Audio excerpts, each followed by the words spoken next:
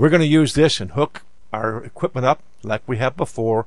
We have our voltage probe and we have our low amps probe. In this particular case, we've got a nice thing on the low amps probe saying this is pointing toward the positive side to help us keep the directionality correct.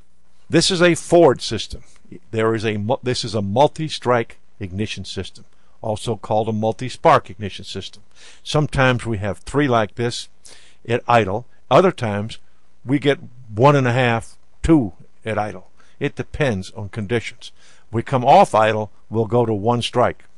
The first strike is what we use for our measurement of our current flow.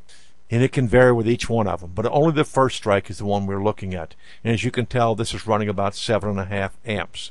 We go off idle a little bit, the other ones shrink down. They do three strikes to get better combustion at low engine speeds. Once we bring it up, we have a look at it and we discuss it. Remember, this is a two-wire system. The rise time is totally controlled by the PCM. The height of the voltage is controlled by B+, plus, the quality of ground on the computer and getting back to the PCM, and the B plus supplied. So remember, there's a lot of things involved. This should be 6.5 to 7.7. It's 7.5 amps. It's right where we would expect it. If the current flow is low, look on the top of the coil for cracks and bubbling of the seal. This is one of the things we've seen on Ford from high temperature operation. They get cracking and bubbling, and moisture gets inside, and it goes to changing resistance of the wiring. The rise time should be the specification 1.3 to 1.7. This is 1.4. But again, remember, that is controlled by the PCM. If that's wrong, look at the PCM. It's the source of this information. Now, the, how fast this rises is a function of coil resistance.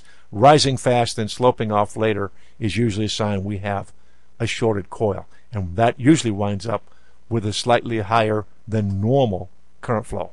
If the peak amps are lower than normal, we're going to go back to our same thing. We're going to check the coil's B plus supply, looking at the patterns of failures and seeing what's going on. Low primary current, you need to go check the coil's resistance, and we're going to have to go and measure across the coil. Measure these two wires. The, the specification says the coil resistance should be a half ohm between the red and the green wire. Here we're reading 3.67 ohms. That's not a half. So if I were you, I would check a couple coils and compare each a couple of coils, a good and a bad, to see which one I think is the problem.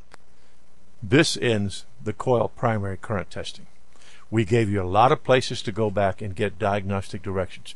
Make sure you review this enough time to fully understand it before moving on to another section.